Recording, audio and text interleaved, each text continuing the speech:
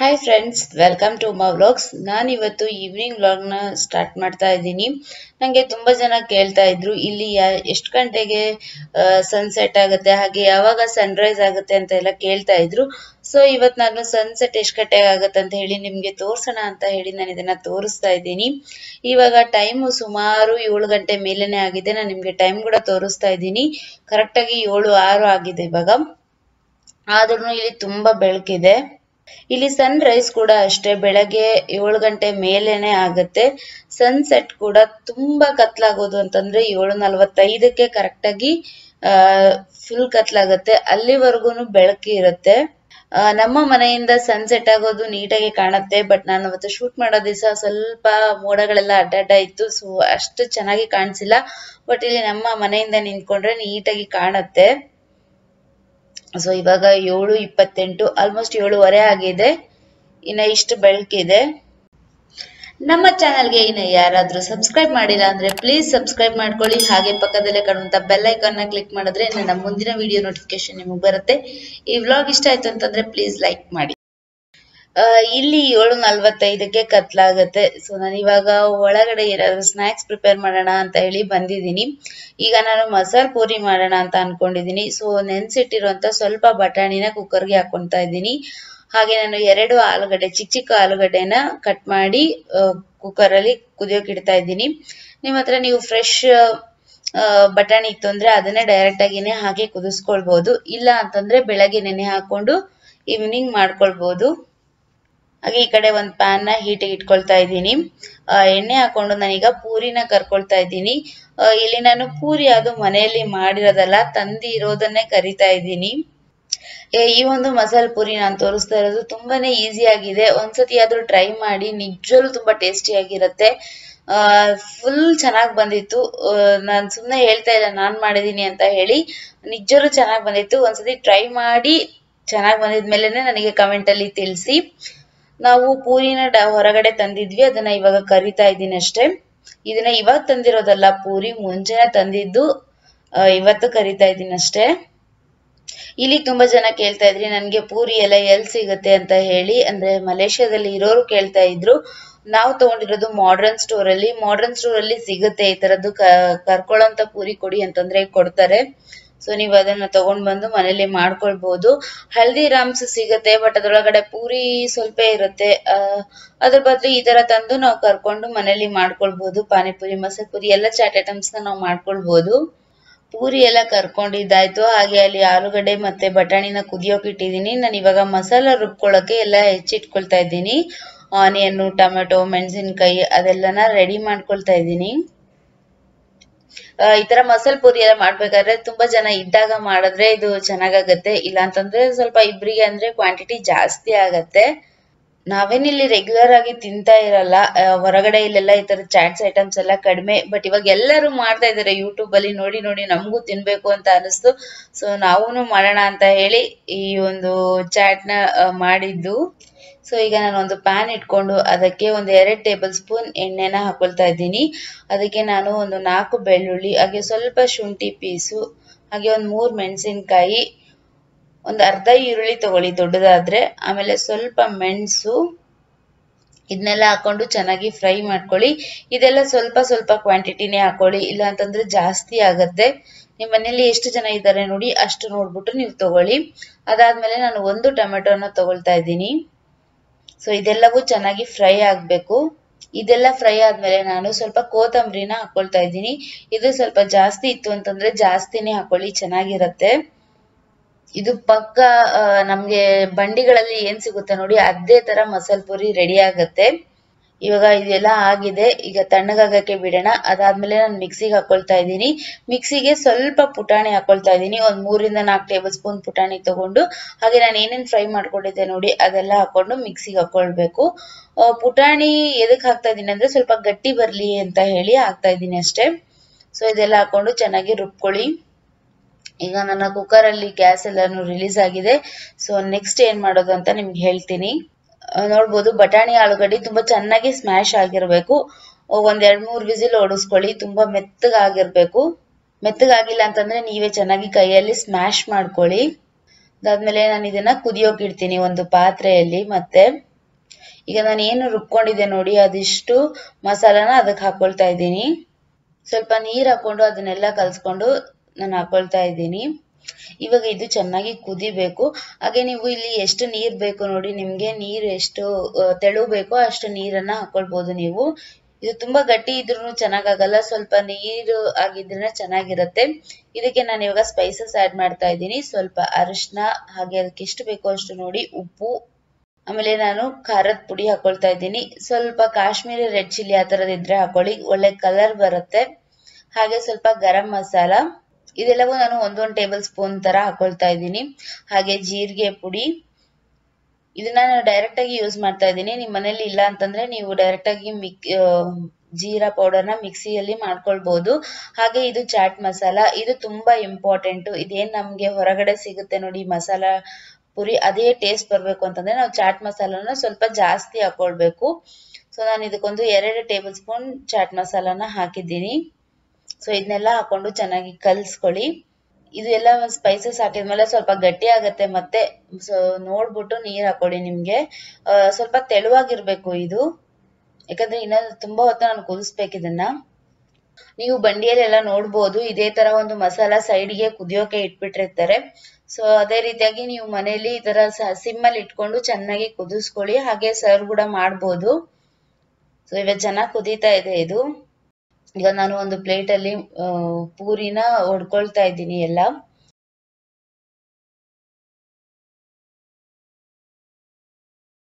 ಪೂರಿ ಸ್ವಲ್ಪ ಗಟ್ಟಿಯಾಗಿತ್ತು ಇದು ಸೊ ಬೇಗ ನನ್ಗೆ ಒಡೆಯಕ್ ಬರ್ತಾ ಇರ್ಲಿಲ್ಲ ಕೈಯಲ್ಲಿ.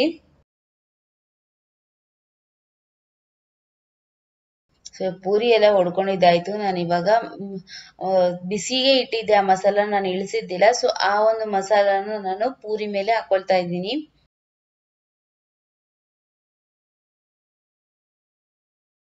ಇವಾಗ ನಾನು ಮೇಲ್ಗಡೆ ಆನಿಯನ್ ಟೊಮೆಟೊ ಹಾಗೆ ಕೋತಂಬರಿ ಮತ್ತೆ ಕ್ಯಾರೆಟ್ ಎಲ್ಲ ಹಾಕೊಂಡು ರೆಡಿ ಮಾಡ್ಕೊಳ್ತಾ ಇದ್ದೀನಿ. ಇದಕ್ಕೆ ನಮ್ಮ ಮನೆಯಲ್ಲಿ ಬೂನ್ ಮೇಲೆ ಹಾಕ್ತಾರೆ ನೋಡಿ, ಆ ತೆಳ್ಳಂದು ಸೇವ್ ಒಂದು ಇದ್ದಿದ್ದಿಲ್ಲ. ಸೊ ಅದು ಬಿಟ್ಟು ಉಳ್ಕಿದೆಲ್ಲ ಈ ತರ ಮಾಡ್ಕೊಂಡು ತಿನ್ಬೋದು. ಸೊ ನಮ್ಮ ಸಂಜೆ ಸ್ನಾಕ್ಸ್ ಮಸಾಲ ಪುರಿ ರೆಡಿ ಆಯ್ತು. ನಿಜವಲ್ಲೂ ತುಂಬಾನೇ ಚೆನ್ನಾಗಿ ಬಂದಿತ್ತು ಇದು. ಪಕ್ಕ ಹೊರಗಡೆ ಏನ್ ಸಿಗುತ್ತೆ ನೋಡಿ ಬಂಡಿಲಿ, ಅದೇ ರೀತಿಯಾಗಿ ನಾವು ಮನೇಲೆ ಮಾಡ್ಕೊಳ್ಬೋದು ನೀಟಾಗಿ. ಮಸಾಲ ಪೂರಿ ತಿಂದ್ಮೇಲೆ ಸುಮಂತ್ ಅವರು, ಇದರಿಂದನೇ ನಾನು ಬೇಲ್ ಪೂರಿ ಮಾಡ್ತೀನಿ ಅಂತ ಹೇಳಿ ಇದನ್ನ ಅವ್ರು ಮಾಡ್ತಾ ಇದ್ದಾರೆ. ಬೇಲ್ ಪೂರಿಗೆ ಇದೇ ಒಂದು ಮಸಾಲ ಹಾಕ್ಬಿಟ್ಟು ಅವರು ಒಂದು ಬೇ, ಬೇಲ್ ಪೂರಿನ ಟ್ರೈ ಟ್ರೈ ಮಾಡ್ತಾ ಇದ್ದಾರೆ. ಅದು ಕೂಡ ತುಂಬಾನೇ ಚೆನ್ನಾಗಿ ಬಂದಿತ್ತು. ಇದು ಅವ್ರದೇ ಓನ್ ಕ್ರಿಯೇಟಿವ್ ಅವರೇ ಹೇಳಿದ್ರು, ಈ ಒಂದು ಮಸಾಲಾನೇ ಹಾಕ್ಬಿಟ್ಟು ನಾನು ಬೇಲ್ ಪೂರಿ ಮಾಡ್ತೀನಿ, ನೋಡೋಣ ಅದು ಹೇಗ್ ಬರುತ್ತೆ ಅಂತ ಹೇಳಿ. ಸೊ ಮಂಡಾಳಿಗೆನೆ ಮಾಡಿಟ್ಕೊಂಡಿರೋಂತ ಪೂರಿನ ಹಾಕಿದ್ರು. ಆಮೇಲೆ ಅವಾಗೆ ಪ್ರಿಪೇರ್ ಮಾಡ್ಕೊಂಡಿರೋಂತ ಮಸಾಲಾನ ಹಾಕೊಂಡ್ರು. ಆಮೇಲೆ ಈರುಳ್ಳಿ, ಟೊಮೆಟೊ, ಕ್ಯಾರೆಟ್ ಏನಿತ್ತು ಅದೆಲ್ಲ ಹಾಕಿ ಕಲ್ಸಿದ್ರು. ಅದನ್ನು ತುಂಬಾನೇ ಚೆನ್ನಾಗಾಗಿತ್ತು.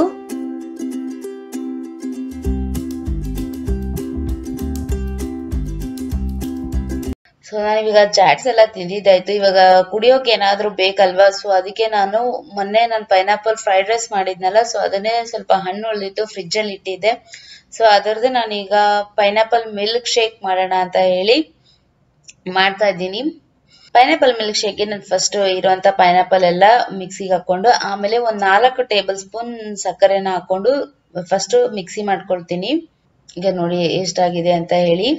ಆಮೇಲೆ ಇದಕ್ಕೆ ಎಷ್ಟು ಹಾಲು ಬೇಕೋ ಅಷ್ಟು ಹಾಲು ಹಾಕೊಂಡು ಆಮೇಲೆ ಸ್ವಲ್ಪ ಐಸ್ ಕ್ಯೂಬ್ಸ್ನ ಹಾಕೊಂಡು ಇನ್ನೊಂದ್ ಟೈಮ್ ಮಿಕ್ಸಿ ಮಾಡ್ಕೊಂಡ್ರೆ ಪೈನಾಪಲ್ ಮಿಲ್ಕ್ ಶೇಕ್ ರೆಡಿ ಆಗುತ್ತೆ. ಯಾರಾದರೂ ಆ ಪೈನಾಪಲ್ ಫ್ರೈಡ್ ರೈಸ್ ರೆಸಿಪಿ ನೋಡಿಲ್ಲ ಅಂತಂದ್ರೆ ನಾನು ಇಲ್ಲಿ ಐ ಕಾರ್ಡ್ ಅಲ್ಲಿ ಕೊಡ್ತೀನಿ, ಅದನ್ನ ನೀವು ನೋಡ್ಬೋದು, ಅದನ್ನ ಟ್ರೈ ಮಾಡಿ ಅದನ್ನು ತುಂಬಾ ಚೆನ್ನಾಗಾಗುತ್ತೆ. ಸೊ ಇವಾಗ ಪೈನಾಪಲ್ ಮಿಲ್ಕ್ ಶೇಕ್ ರೆಡಿ ಆಗಿದೆ. ಸೊ ನಾನೀಗ ಗ್ಲಾಸ್ ಅಲ್ಲಿ ಹಾಕೊಂಡು ಸರ್ವ್ ಮಾಡ್ಕೊಳ್ತಾ ಇದ್ದೀನಿ.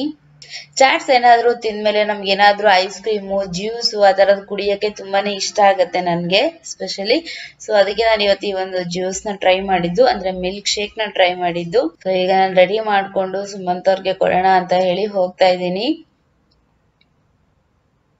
ಅವರು ರೂಮಲ್ಲಿ ಏನೋ ಕೆಲಸ ಮಾಡ್ಕೊಳ್ತಾ ಕುತ್ಕೊಂಡಿದ್ದಾರೆ.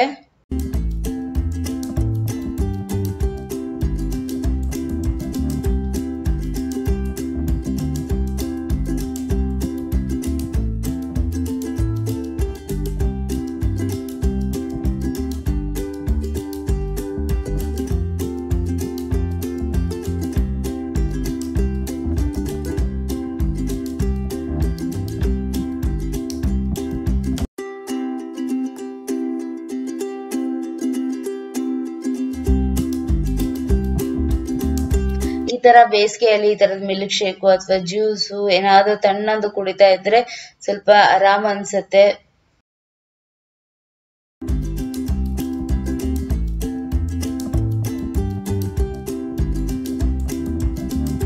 ಈಗ ಜ್ಯೂಸ್ ಕುಡ್ದಿದೆಲ್ಲ ಆಯ್ತು. ನಾನು ನೆಕ್ಸ್ಟ್ ಏನ್ ಕೆಲಸ ಇದೆ ಅಂತ ಹೇಳಿ ಮತ್ತೆ ಅಡಿಗೆ ಮನೆಗೆ ಹೋಗ್ತಾ ಇದ್ದೀನಿ. ಆಗ್ಲೇ ನಾನು ಇಡ್ಲಿಗೆ ನೆನೆ ಹಾಕಿದ್ದೆ ನಾಳೆಗೆ. ಸೊ ಈ ಇಡ್ಲಿ ಹಿಟ್ಟನ್ನು ಕೂಡ ರುಬ್ಬೇಕು. ಆ, ಇಡ್ಲಿ ಹಿಟ್ಟಿಗೆ ನಾನು ಇವತ್ತೊಂದು ಈಸಿ ವೇ ಹೇಳ್ತೀನಿ. ಇಡ್ಲಿ ಮಾಡೋದು ಅಂದ್ರೆ ನಮ್ಮ ಮನೇಲಿ ಯಾವ ತರ ಇಡ್ಲಿ ಮಾಡ್ತೀವಿ ಅನ್ನೋದನ್ನ ನಾನು ನಿಮ್ಗೆ ತೋರಿಸ್ಕೊಡ್ತೀನಿ. ಸೊ ನಾನು ಅಲ್ಲಿ ನಿಮ್ಗೆ ಕಾಣ್ತಾ ಇರ್ಬೋದು ಸೈಡಿಗೆ ಒಂದು ಕಪ್ಪು. ಆ ಒಂದು ಕಪ್ಪಿಂದ ಉದ್ದಿನ ಬೇಳೆ ನೆನೆ ಹಾಕಿದ್ದೆ. ಒಂದು ಹನ್ನೆರಡು ಗಂಟೆ ಆ ತರ ನೆನೆ ಹಾಕಿದ್ದೆ. ಇವಾಗ ರಾತ್ರಿ ರುಬ್ತಾ ಇದ್ದೀನಿ. ಈ ತರ ನುಣ್ಣಗೆ ರುಬ್ಕೊಳ್ಬೇಕು. ನಾವು ಇಡ್ಲಿಗೆ ಅವಲಕ್ಕಿ ಮತ್ತೆ ಏನು ಬೇರೆ ಯೂಸ್ ಮಾಡ್ತಾ ಇಲ್ಲ. ಬರೀ ಎರಡೇ ಪದಾರ್ಥದಿಂದ ಇಡ್ಲಿ ಮಾಡ್ತೀವಿ. ಸೊ ನಾನು ಮಿಕ್ಸಿ ಮಾಡಿರುವಂತ ಉದ್ದಿನ ಹಿಟ್ಟನ್ನೆಲ್ಲ ಒಂದು ಪಾತ್ರೆಗೆ ತಕ್ಕೊಳ್ತಾ ಇದ್ದೀನಿ. ನಾನು ಬೆಳಗ್ಗೆ ಬಗ್ಗೆ ಹೇಳಿದ್ನಲ್ಲ, ಉದ್ದಿನ ಬೇಳೆ ಅದರಿಂದ ಒಂದು ಲೋಟ ತಗೊಂಡಿದ್ದೆ ಅಂತ ಹೇಳಿ. ಸೊ ಅದರಿಂದನೇ ನಾನು ಇವಾಗ ಮೂರು ಲೋಟ ಇಡ್ಲಿ ರವಾನ ತಗೊಳ್ತೀನಿ. One is to three proportion ನೀವು ಅವಲಕ್ಕಿ ಎಲ್ಲ, ಅವಲಕ್ಕಿ, ಸಬ್ಬಕ್ಕಿ ಎಲ್ಲ ಹಾಕ್ಬಿಟ್ಟು ಮಾಡ್ತಾರೆ ಒಬ್ಬೊಬ್ರು ಇಡ್ಲಿನ. ಬಟ್ ನಾವು ನಮ್ಮನೇಲಿ ಬರೀ ಉದ್ದಿನ ಬೇಳೆ ಮತ್ತೆ ಇಡ್ಲಿ ರವದಿಂದ ಇಡ್ಲಿ ಮಾಡ್ತೀವಿ. ಸೊ ಯಾರಾದ್ರೂ ಈ ತರ ಟ್ರೈ ಮಾಡಿಲ್ಲ ಅಂತಂದ್ರೆ ಇದನ್ನ ಟ್ರೈ ಮಾಡ್ಬೋದು. ಇದು ಕೂಡ ಅಷ್ಟೇ ತುಂಬಾ ಚೆನ್ನಾಗಿ ಬರುತ್ತೆ ಇಡ್ಲಿ. ಸೊ ನಾನೀಗ ಮೂರು ಕಪ್ ಇಡ್ಲಿ ರವಾನ ತಗೊಂಡು ಅದನ್ನ ಚೆನ್ನಾಗಿ ವಾಶ್ ಮಾಡ್ಕೊಳ್ತೀನಿ. ಸೊ ಅದನ್ನೆಲ್ಲ ವಾಶ್ ಮಾಡ್ಕೊಂಡು ಇವಾಗ ಕೈಯಲ್ಲಿ ಚೆನ್ನಾಗಿ ಪ್ರೆಸ್ ಮಾಡ್ಬಿಟ್ಟು, ಅಂದ್ರೆ ಹೆಚ್ಚಿ ಇರುವಂತ ನೀರಿನ ಅಂಶ ಎಲ್ಲ ತೆಗೆದ್ಬಿಟ್ಟು, ಆ ಉದ್ದಿನ ಬೇಳೆ ಹಿಟ್ಟಲ್ಲಿ ಹಾಕ್ಬೇಕು.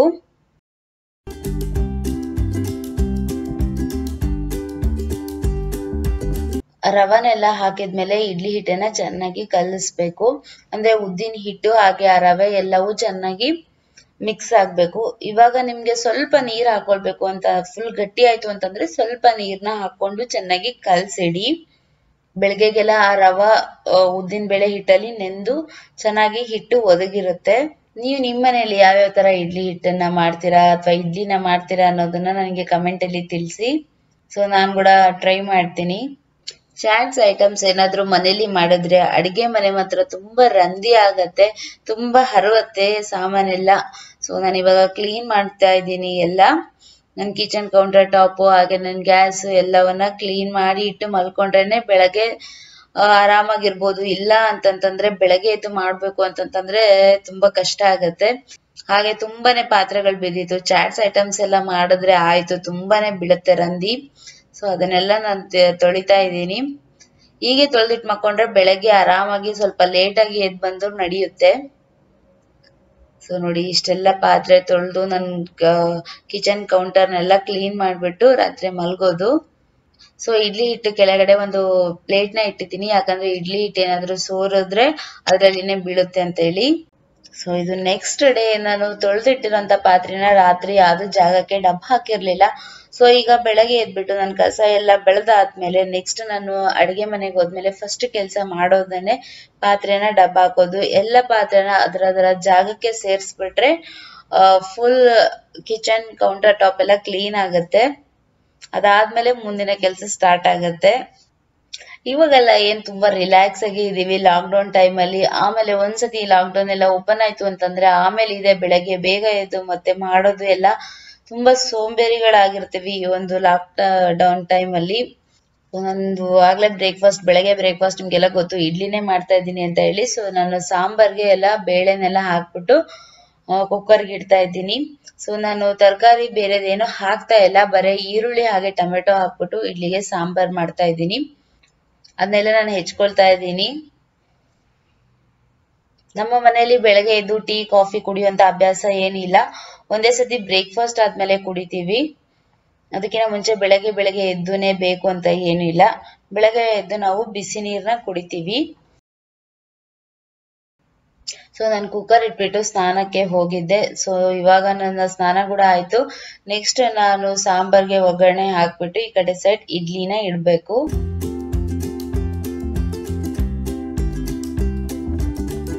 ಸೊ ನಾನು ರಾತ್ರಿ ಇಟ್ಟಿರುವಂತ ಹಿಟ್ಟು, ಈಗ ಅದಕ್ಕೆ ನಾನು ಸ್ವಲ್ಪ ಉಪ್ಪನ್ನ ಹಾಕ್ತಾ ಇದ್ದೀನಿ. ನಾನು ಇಲ್ಲಿ ಯಾವುದೇ ರೀತಿಯಾದಂತ ಸೋಡಾ ಅದೆಲ್ಲ ಏನು ಆಡ್ ಮಾಡ್ತಾ ಇಲ್ಲ. ಬರೀ ಉಪ್ಪು ಒಂದ್ ಸ್ವಲ್ಪ ಎಣ್ಣೆನ ಹಾಕ್ತಾ ಇದ್ದೀನಿ. ಸೊ ಉಪ್ಪು ಎಣ್ಣೆನ ಹಾಕ್ಬಿಟ್ಟು ಚೆನ್ನಾಗಿ ಕಲ್ಸ್ಕೊಳ್ಳಿ. ಈಗ ನಿಮ್ಗೆ ಇಡ್ಲಿ ಹಿಟ್ಟು ತುಂಬಾ ಗಟ್ಟಿಯಾಗಿತ್ತು ಅಂತಂದ್ರೆ ಸ್ವಲ್ಪ ನೀರನ್ನು ಕೂಡ ಹಾಕಿ ನೀವು ಕಲ್ಸ್ಕೊಳ್ಬಹುದು ಈಗ ನಾನು ಇಡ್ಲಿ ಪಾತ್ರೆಗೆ ಸ್ವಲ್ಪ ಎಣ್ಣೆನ ಹಚ್ಕೊಳ್ತಾ ಇದ್ದೀನಿ.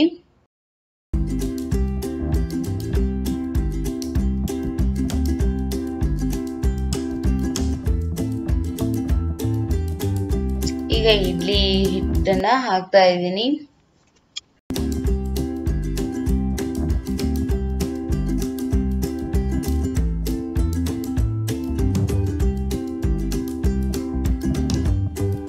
ಈಗ ನಾನು ಒಂದು ಪಾತ್ರೆಯಲ್ಲಿ ಬಿಸಿ ನೀರನ್ನ ಕಾಯಿಸಕ್ಕೆ ಇಟ್ಟಿದ್ದೆ. ಹಾಗೆ ಒಂದು ಸ್ಟ್ಯಾಂಡ್ ಹಾಕಿದ್ದೆ ಅದರೊಳಗಡೆ. ಸೊ ಅದ್ರ ಮೇಲೆ ನಾನು ಇವಾಗ ಇಡ್ಲಿನ ಇಡ್ತಾ ಇದ್ದೀನಿ.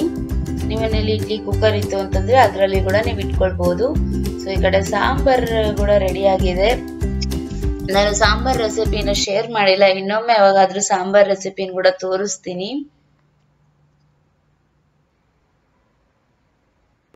ಇವಾಗ ಆ ಕಡೆ ಇಡ್ಲಿ ಕೂಡ ಆಗಿದೆ. ಸೊ ನಾನು ಇವಾಗ ಇಡ್ಲಿನ ತೆಕ್ಕೊಳ್ತಾ ಇದ್ದೀನಿ.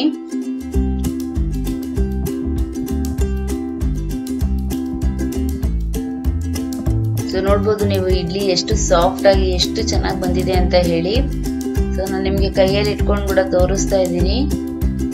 ಸೊ ನೀವು ಕೂಡ ಈ ಥರ ಒಮ್ಮೆ ಇಡ್ಲಿನ ಟ್ರೈ ಮಾಡಿ ಎರಡೇ ಪದಾರ್ಥಗಳಿಂದ ತುಂಬ ಸಾಫ್ಟ್ ಆಗಿರುವಂಥ ಪ್ಲಫಿ ಇಡ್ಲಿನ ನಾವು ಮಾಡ್ಕೊಳ್ಬೋದು. ಇದರಲ್ಲಿ ನಾನು ಯಾವುದೇ ರೀತಿಯಾದಂಥ ಸಬ್ಬಕ್ಕಿ ಆಗಿ ಅಕ್ಕಿ ಏನು ಉಪಯೋಗಿಸಿಲ್ಲ. ಸೊ ಇದನ್ನು ನೀವು ಒಮ್ಮೆ ಟ್ರೈ ಮಾಡಿ. ಸೊ ಫ್ರೆಂಡ್ಸ್ ಇವತ್ತಿನ ವ್ಲಾಗ್ನ ನಾನು ಇಲ್ಲಿಗೆ ಎಂಡ್ ಮಾಡ್ತಾ ಇದ್ದೀನಿ. ಯಾರಾದರೂ ಹೊಸಬ್ರು ನಮ್ಮ ಚಾನಲ್ ನೋಡ್ತಾ ಇದ್ರೆ ಪ್ಲೀಸ್ ಸಬ್ಸ್ಕ್ರೈಬ್ ಮಾಡ್ಕೊಳ್ಳಿ. ಹಾಗೆ ಪಕ್ಕದಲ್ಲೇ ಕಾಣುವಂಥ ಬೆಲ್ ಐಕಾನ್ನ ಕ್ಲಿಕ್ ಮಾಡಿ. ನಾನು ಫೇಸ್ಬುಕ್ ಇನ್ಸ್ಟಾಗ್ರಾಮಲ್ಲಿ ಕೂಡ ಇದ್ದೀನಿ. ನೀವು ಅಲ್ಲಿ ಕೂಡ ನನ್ನ ಫಾಲೋ ಮಾಡ್ಬೋದು. ಹಾಗೆ ನಿಮ್ಮ ಅನಿಸಿಕೆ ಅಭಿಪ್ರಾಯನ ಕಮೆಂಟ್ಸ್ ಅಲ್ಲಿ ತಿಳಿಸಿ, ಮತ್ತೆ ಇನ್ನೊಂದು ಇಂಟ್ರೆಸ್ಟಿಂಗ್ ಬ್ಲಾಗ್ ಜೊತೆ ನಿಮ್ಗೆ ಸಿಗ್ತೀನಿ. ಅಲ್ಲಿವರೆಗೂ ಎಲ್ರಿಗೂ ಬೈ ಬಾಯ್